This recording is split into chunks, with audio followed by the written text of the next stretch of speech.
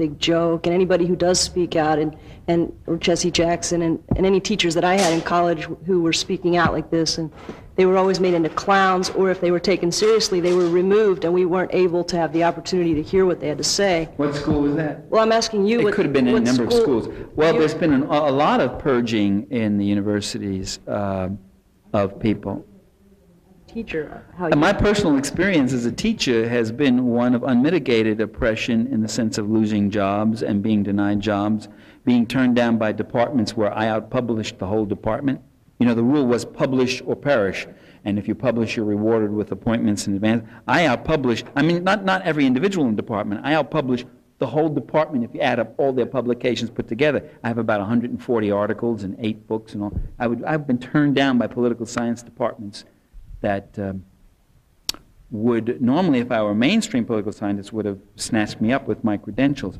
So that kind of thing goes on uh, all all the time. Uh, the worst attacks on my person and my physical safety came on a university campus by campus police and state troopers in Illinois during the Kent State uprising, where I was beaten to a pulp, my head covered with blood, and uh, thrown to prison and sentenced to two years for mob action and uh, uh, assault and battery. It was during the anti-war demonstration days, and uh, I remember sitting in the prison and hearing one of the cops outside say, "That's Parenti."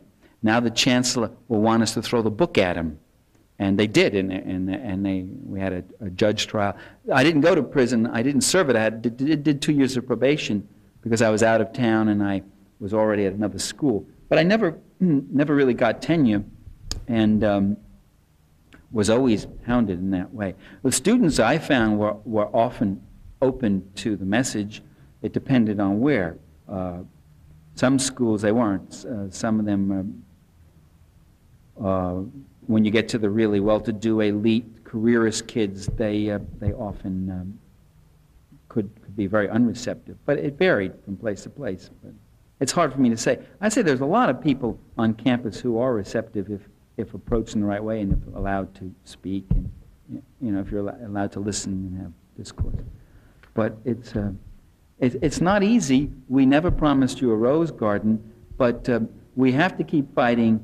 Not for the abstract principle of democracy, it's a necessity. It's a necessity for the survival of what little shreds of rights we have to keep those and to advance those and push. To the extent that we have those rights, it's people who have been struggling, women, minorities, African Americans for centuries have been struggling, fighting against all sorts of odds, oppression, prejudice, calumny, slander, violence, murder, all these things. Working people have been fighting and fighting. We didn't get the eight hour day on a platter. That took a century of struggle. And in fact, we don't even, we're losing the eight hour day now with forced overtime or forced underemployment or whatever else. so um, we are facing very vicious people, very, very vicious people, uh, very relentless in defending their privileges, their power, and their wealth. They will put a bullet through your head if they think you are a very a real danger. And so the only safety and security we have is in our numbers, in our organizing, in our speaking out. The one thing you should do, the last thing you should do eh, with this censorship is never censor yourself. And there's all sorts of, I've run into too many people in my life who've always told me that the best way to preserve my freedom of speech was to keep my mouth shut. And that didn't make sense. Thanks a lot.